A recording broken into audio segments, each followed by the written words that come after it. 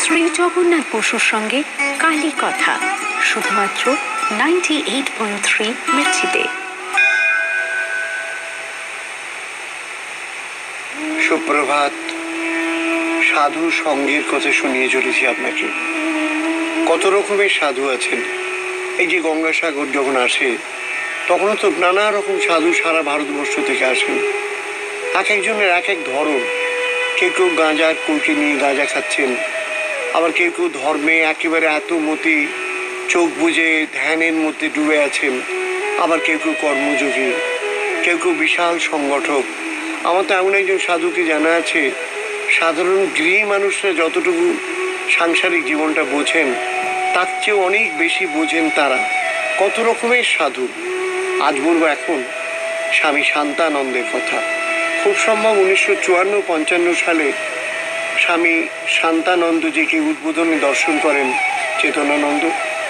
শুনেছিলাম তিনি একজন উচ্চস্তরের সাধু এবং শ্রী শ্রী মায়ের একজন প্রিয় শিষ্য। আমি প্রণাম করতে গেলে তিনি বললেন, এই শোনো দূর থেকে প্রণাম করো। আমি একটু হকচকিয়ে গেলাম। পরে জেনেছিলাম মহারাজের টিবি হয়েছিল। এখন ভালোভাবে উদ্বোধনে আছেন। আমার কল্যাণের জন্য তার খুব কাছে যেতে তিনি নিষেধ করেছিলেন। মহারাজ তখন ভিক্ষার জন্য খুব কষ্ট পাচ্ছিলেন এবং তা অনেক দিন ধরে চলেছিল। স্বামী শান্তানন্দের কথা শোনাচ্ছি। আপনাকে মেচ্ছি কালী কথা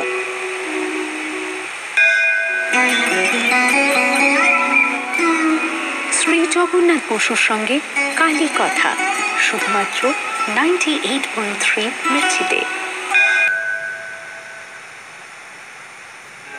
স্বামী শান্তানন্দ মহারাজের যখন কাশিতে টিভি ধরা পড়ল সেটা উনিশশো সাতচল্লিশ আটচল্লিশ সাল হবে, তখন শ্রীধরানন্দজি তার সেবক ছিলেন।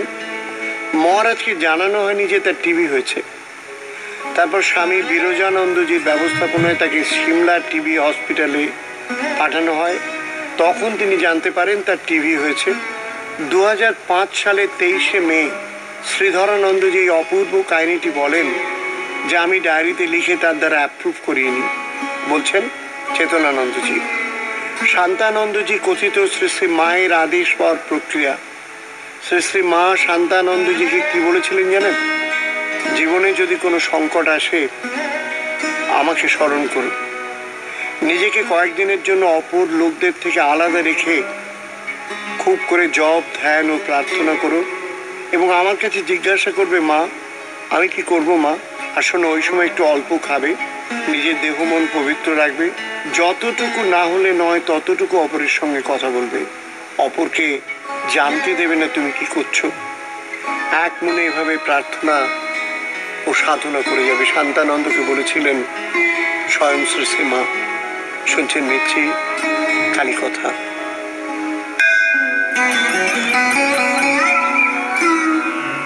জগন্নাথ বসুর সঙ্গে কালী কথা, শুধুমাত্র নাইনটি এইট পয়েন্ট থ্রি মির্চিতে। শ্রী শ্রী শান্তানন্দজিকে বলছেন, কখনো ধৈর্য হারাবে না। যদি দেখো, আমার আদেশ পেতে বা আমার উত্তর পেতে দেরি হচ্ছে, তাতেও ধৈর্য হারিও না বাবা। যদি দেখো কোনো উত্তর আসছে না, তবে জানবে, তোমার মন এখনও সেই স্তরে আসেনি যাতে তুমি আমার আদেশ পেতে পারো। ভক্তি ও বিশ্বাসের সঙ্গে ব্যাকুল হয়ে ডেকে গেলে আমার কাছে ঠিক উত্তর পাবে।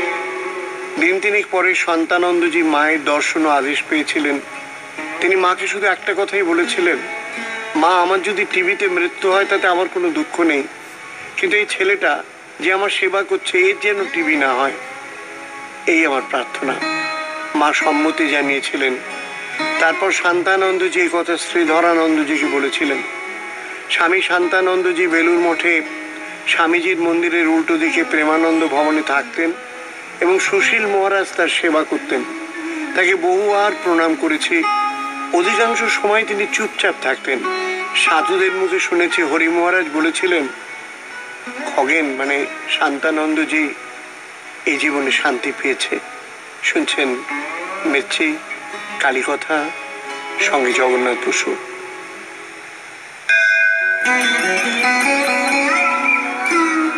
শ্রী জগন্নাথ বসুর সঙ্গে কালী কথা, শুধুমাত্র নাইনটি এইট থ্রি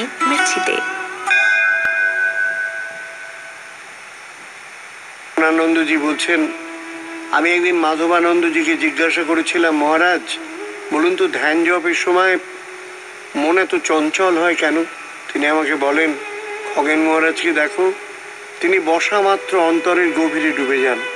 কই, তাকে তো মনের সঙ্গে যুদ্ধ করতে হয় না। তুমি তোমার গুরুর উপদেশ মতো ধ্যান যোগ করো, তাহলে তোমার মন শান্ত হবে।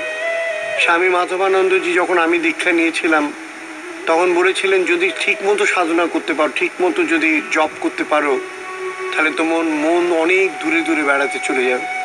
কথাটা মনে পড়ে গেল। আমি আমেরিকায় আসবার সময় মঠে কয়েকদিন ছিলাম। একদিন শান্তানন্দজির আশীর্বাদ প্রার্থনা করতে গিয়েছিলাম। সেবক সুশীর মহারাজ শান্তানন্দজিকে বললেন, মহারাজ চেতনানন্দ আমেরিকায় যাচ্ছে, ওকে আশীর্বাদ করুন। মহারাজ শুনে চুপ করে থাকলেন।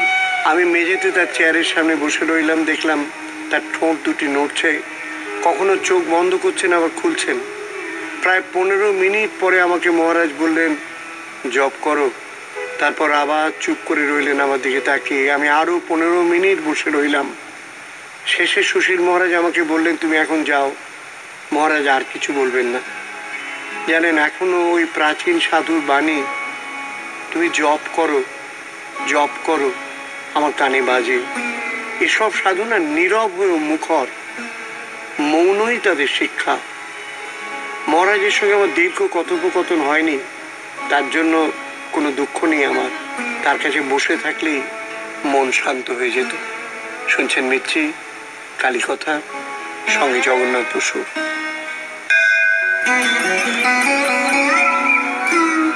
শ্রী জগন্নাথ বসুর সঙ্গে কালী কথা শুধুমাত্র নাইনটি এইট পয়েন্ট থ্রি মির্চিতে।